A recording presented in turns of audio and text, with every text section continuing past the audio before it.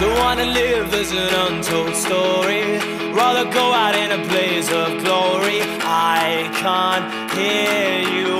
I don't fear you. I live now cause the bad die last. Dodging bullets with your brain.